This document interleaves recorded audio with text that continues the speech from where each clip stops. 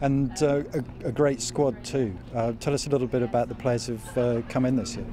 Well, um, again, a bit of a shake-up. A number of players left last year, but we've uh, brought Martin Guptill back, fresh from his uh, amazing achievements in the World Cup, and it's great to have him on board.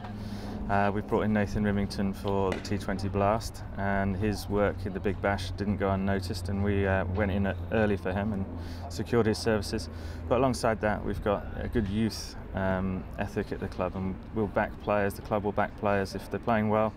You know, throw them in on a Friday night in front of a, hopefully a full house, and just see how they cope under the pressure and the spotlight of the you know the, the T, 20 Blast. So, um, like I said, we've got some good youngsters, but uh, we've got a core nucleus of players that have been around the place now for a few years, and it, like I said, it's competitive and it's exciting.